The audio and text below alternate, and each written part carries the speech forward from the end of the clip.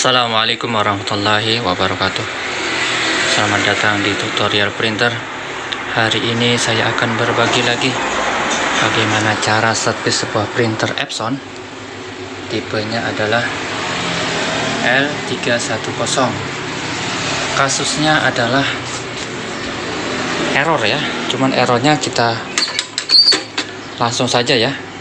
Kita hidupkan dulu Nanti ketahuan errornya Oke langsung saja. Namun sebelum saya lanjutkan ya mohon maaf karena di sini pengen jalan besar. Jadi suara-suara nyaring atau sepeda motor atau mobil itu sangat sekali jadi harap dimaklumi. Kita hidupkan ya. Kita hidupkan perhatikan errornya dan suaranya ya. Nah seperti itu ya bunyinya nyaring ya atau keras berisik ketika dihidupkan langsung bunyi set ya. nyet ya, set. Nah, kurang lebih seperti ya. Set nyet kita ulangi lagi ya. Matikan kita hidupi lagi. Nah suara nyaring set langsung error ya. Nah ini biasanya perangkat kerasnya ya bukan software tapi perangkat kerasnya. Apakah mekaniknya atau apanya nanti kita cek kita bongkar dulu ya. Nanti baru kita tahu apanya yang bermasalah ya. Oke langsung saja ya. Kita matikan dulu baru kita bongkar.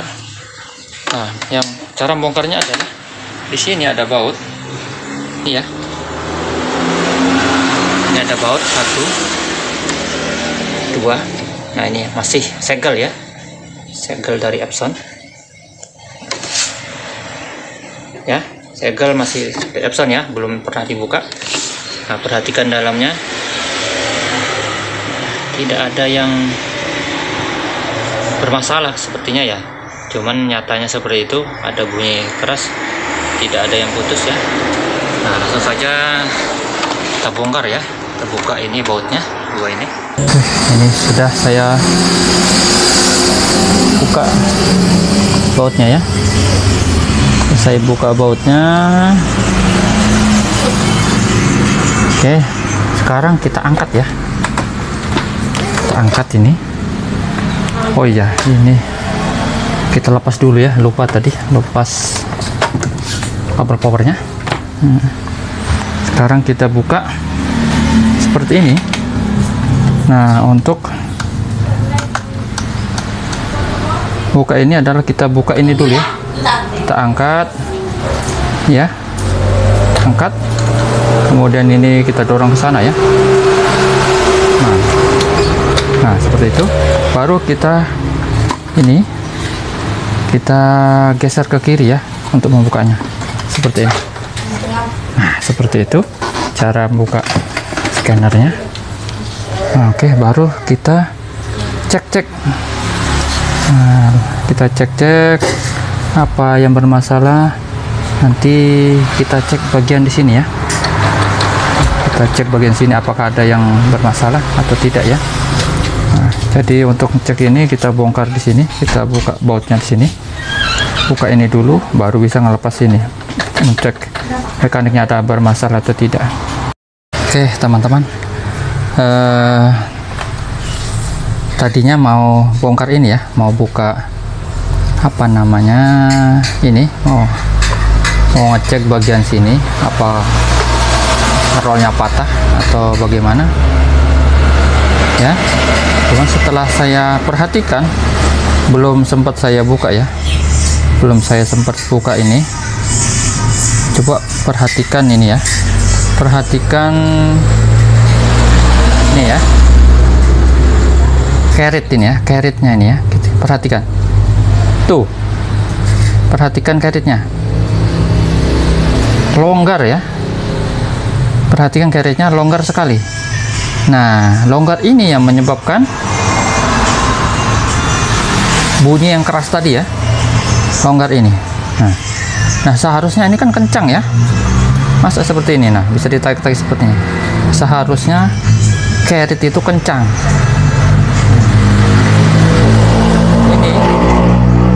yang mencurigakan ya mencurigakan. Ini yang mencurigakan penyebab dari punya set itu tadi ya.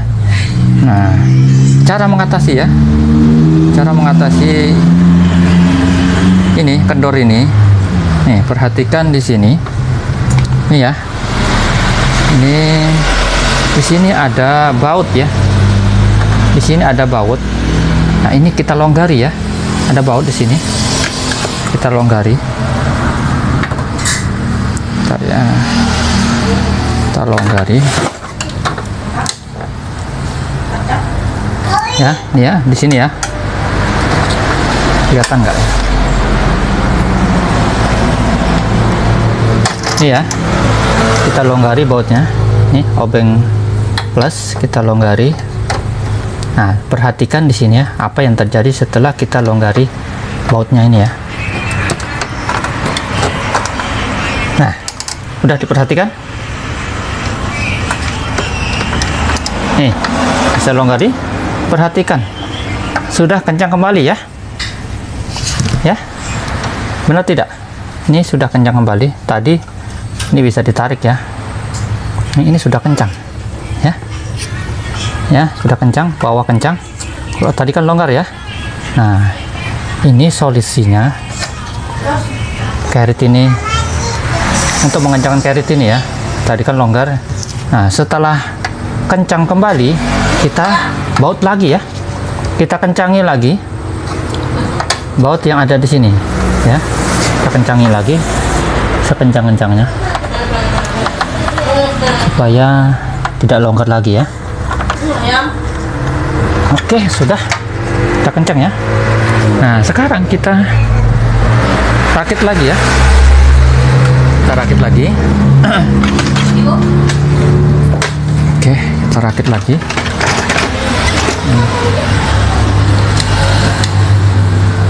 Oke perhati ini masukkan sini dulu ya. Bagian sini. Ini ya lubang yang ini. Lubang ini ya. Masukkan. Nggak kelihatan ya. Nah lubang yang ini lubang ini masukkan di yang ini ya. Nah. Nah setelah masuk ya. Nah ini sudah masuk ya. Sudah masuk. Nah, nah baru kita pasang fleksibel yang bagian bawah dulu ya. Bagian bawah dulu. Ini yang dua. Ini jangan sampai terlipat ya. Ini jangan sampai terlipat. Kalau ada salah satu yang terlipat maka akan error ya nah ini kita pasang. Cara memasang fleksibel yang dua ini. Ini kita tarik ya sedikit ya. Angkat sedikit angkat baru tarik. Nah terbuka sedikit ya. Nah baru kita pasang. Untuk mempermudah kita masang ya. Jangan sampai miring masanya ya. Harus benar-benar pas. Nah sebelah sini dulu dipasang baru sebelahnya ini harus teliti ya harus pelan-pelan. Kalau sudah lurus baru didorong. Perhatikan. Pasangannya ya. Hmm, sudah bagus ya. Nah baru terakhir kita pasang yang sini ya. Nah seperti itu. Baru kita tutup ini. Nah sudah rapat ya. Setelah itu baru kita tutup ya kita tutup kita geser-geser. Nah ini sudah menutup ya. Perhatikan ini masih belum bisa tertutup. Nah ini kita geser kiri kanan ya. Nah ini. Nah rapat sudah ya. Nah setelah itu kita tutup ininya. Kita pasang ya. Pasang kabel powernya. Sekarang kita hidupkan bagaimana hasilnya. Semoga terselesaikan ya kasusnya. Apakah bunyi?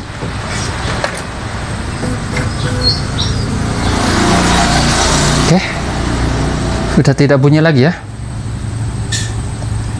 Cuman ini menyala. Ini menyalanya saya belum cek kan nih apa sebabnya menyala tapi yang jelas ketika hidupkan hidupkan power ini tidak ada suara lagi ya. Nah itu poin nomor satu ya. Setelah kita hidupkan sudah tidak ada suara yang set gitu ya. Nah ini sudah normal. Kita tes kopi ya.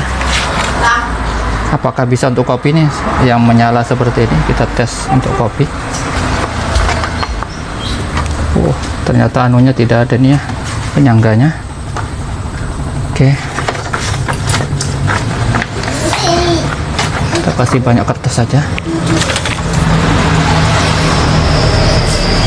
Bentar ya.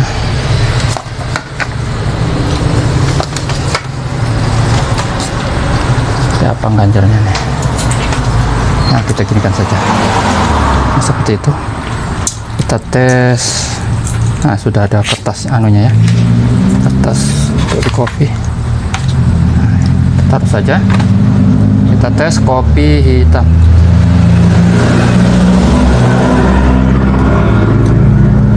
Nih, tidak error ya. Cek lagi kopi hitam.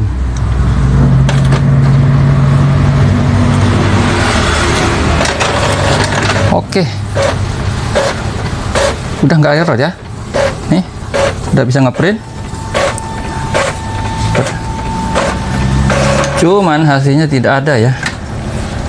Hasilnya tidak ada padahal sudah ada ya kertasnya. Ini itu kopi, cuman kok hasilnya tidak ada.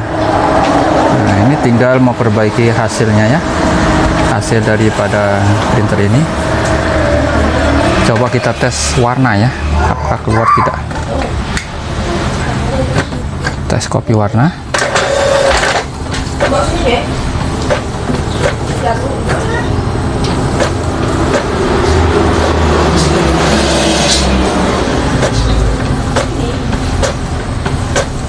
kalau mau kopi warna agak lama ya keluarnya. Soalnya warna nah ini keluar sudah. Hmm, berarti hitamnya sama kali tidak keluar tapi warnanya keluar ya oke kita cancel saja. Supaya untuk percepat nah ini hasilnya. Perhatikan. Wah warnanya. Ini kopi warna ya. Jadi dia kalau warna hitam menjadi kebiru-biruan gitu ya. Nah cuman warnanya keluar ya. Nah, jadi yang menyebabkan error tadi carrot ya carrotnya error eh carrotnya error. Carrotnya longgar. Jadi kita kencengi. Nah sekarang sudah tidak error lagi. Semoga bermanfaat. Mudahan mudahan teman-teman ya punya kasus seperti ini ya. Jadi bisa menyervis seperti saya ini. Semoga bermanfaat. Wabillahi taufiq wal hidayah. Wassalamualaikum warahmatullahi wabarakatuh